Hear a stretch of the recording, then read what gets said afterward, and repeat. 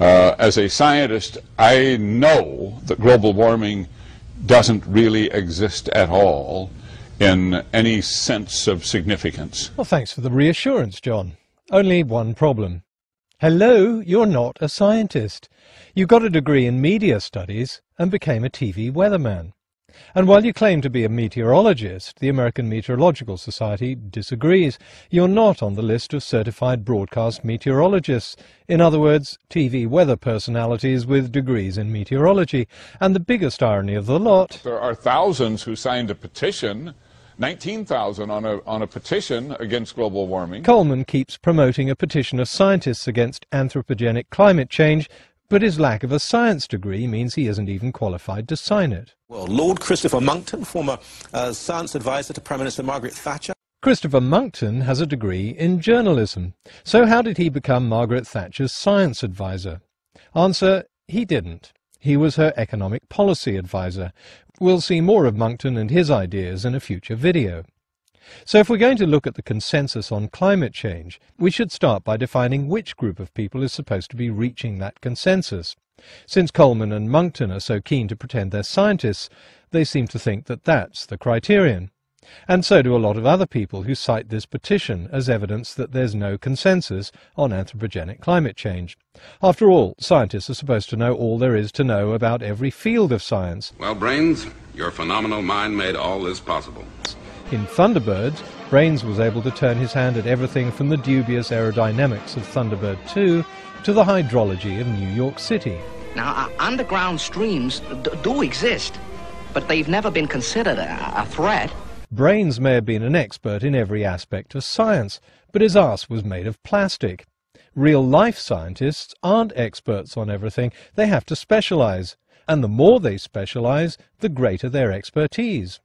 A wood engineer knows a lot about wood engineering, but that doesn't mean he understands atmospheric physics.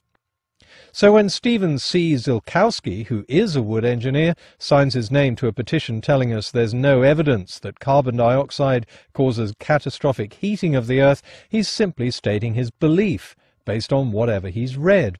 We have no idea what that is, but it's certainly not this series of papers explaining the cause of catastrophic warming during the late Permian. And why should Earl M. Aagaard, a professor of biology at Southern Adventist University, have read the paper either? In between Aagaard and Zylkowski, the first and last names on the petition are an assortment of metallurgists, botanists, agronomists, organic chemists, and so on, who tell us they haven't seen any evidence for CO2 causing catastrophic heating either. The vast majority of scientists who signed the petition have never studied climatology and don't do any research into it. It doesn't matter if you're a PhD. A PhD in metallurgy just makes you better at metallurgy. It doesn't transform you into some kind of an expert in paleoclimatology. Since this is so obvious, why is it that so many people are convinced that Thunderbirds is real and every scientist is brains? Even an intelligent journalist like John Stossel falls into this misconception. 17,000 scientists signed a petition saying there's no convincing evidence that greenhouse gases will disrupt the Earth's climate. 31,000 scientists are saying that global warming is beneficial and it's natural. It's not caused by humans. Okay, let me try this again. Since even the dumbest reporters must at some time have contracted an embarrassing medical condition and visited a hospital, why is the specialization of sciences such a hard concept to grasp? If you had a skin rash, you wouldn't go to a climatologist to be cured any more than you'd go to a doctor to learn the facts about climate. And surely we understand that medical experts, like all scientists, specialize further within the field of medicine. With a skin rash, you wouldn't go to an immunologist or an audiologist, a pediatrician, a respirologist, a gynecologist, an obstetrician, a cardiologist, a neurologist, or any other of the medical disciplines. You'd go to a dermatologist. The same goes for fields like meteorology and geophysics, which also encompass a huge number of specialist fields. Most graduates in these subjects don't go on to study climate. A lot of meteorologists become weather forecasters, or pilots, or teachers, or homemakers, or business people. I know a lot of geophysicists who specialize in measuring seismic and magnetic anomalies in mining exploration. One of them runs a bar in Madrid. So the petition's suggestion that everyone with a degree in meteorology or geophysics knows a lot about climate change or is familiar with all the research that's been done is patent crap. To people unfamiliar with the way science works, this can be confusing. Bob Carter, for example, is described as a paleoclimatologist in this US Senate committee report, but since his PhD was in paleontology and nearly all his research work has been in the field of stratigraphy, why not more accurately call him a stratigrapher? Phil Chapman was described as a geophysicist when he wanted to promote his thoughts on climate, but his bio on NASA's website shows that he was a physicist who specialized in aeronautical instrumentation. Tim Ball has a variety of titles 28 years Professor of Climatology at the University of Winnipeg, 32 years as Professor of Climatology at the University of Winnipeg, a former climatology professor. Professor Tim Ball of the Department of Climatology at the University of Winnipeg. OK, here's where you slipped up, Tim. There is no climatology department at the University of Winnipeg. Sorry, that was fairly easy to verify. Climatology was just one small element of the geography course that you taught. Your major was in geography, and you were a geography professor. So you weren't a professor of climatology. And according to your own biography, you were a professor at the University of Winnipeg from 1988 to 1996. So that's eight years, not 28 or 32 Of course, he's belittling geography. No, the problem isn't that anyone's belittling geography. The problem is that you're inflating eight years of geography, a perfectly respectable subject, into 32 years of climatology, which is something completely different. And you got caught out. Ball's only academic contribution to climate science was a handful of papers, mostly on the historical weather records of the Hudson's Bay Company in central Canada, and mostly published in the 1980s. None of that research addressed or even tried to challenge the accepted link between CO2 and global warming. If Ball hadn't been so heavily promoted on television, most climate scientists would never have heard of this obscure geography professor. If all this sounds a bit negative and dismissive, it's because people with few qualifications and little research history would never be promoted as experts in any other scientific field. So why do the media insist on lowering the standards for climate science? Of course, Al Gore isn't an expert either. Neither is Leonardo DiCaprio or Danny Glover or any of the activists who go on television urging action on global warming.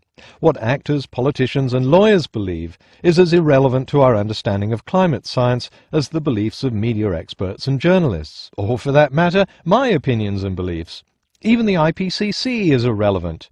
What matters is what's shown through properly published research, which is why it's the researchers who are considered the experts. And that's true of all scientific disciplines. The researchers not only have to have studied their subjects, they also have to keep up with new developments in their field through reading scientific journals and attending seminars. Of course, climate change theory, like any scientific theory, comprises evidence from a number of different fields. It depends on input from dendrochronologists and glaciologists, as well as statisticians and petrologists. Each specialist can speak to his own field of expertise, but if he starts spouting opinions on something outside that field, then he's not speaking from a position of expertise. If you want to know what a real expert climatologist looks like, here's one. John Christy has a PhD in atmospheric sciences and a long track record of published research in climate change, and he's still actively engaged in climate research. Here's another. Richard Lindzen has a PhD in atmospheric physics. He's been a researcher in meteorology and climatology since 1966. Like Christy, he has a long and solid history of published research into climate change, not stratigraphy or electronics. The problem is, real climatologists like these who oppose the accepted climate model have been dwindling in number over the last 20 years. So if you're an American journalist who wants to use expert climatologists to question the accepted climate change model, the choice is now pretty limited. John Christy, Richard Lindzen, Patrick Michaels, and Roy Spencer. Posed as a result of Category 4 and 5 hurricanes in the Atlantic basin in a completely futile attempt to camera and say that the central tendency now become politicized. Solar energy and wind for the 10 years before that, and 0.43 for the 10 years before that. So the question of who's an expert in any scientific discipline, including climatology, is really very simple and long established. If these so-called experts have to lie or are vague about their resume, if nothing is ever outside their wide field of expertise, if they spend more time talking about politics and economics than hard science, and if they make assertions completely unsupported by any research, chances are they're not a real expert. But if you still find all this confusing, don't worry. Just be reassured by the prognosis of the man who's not a scientist, but plays one on TV. The, the Earth is going to, the climate's going to change with cycles of the sun and with ocean currents, and we're all going to do just fine.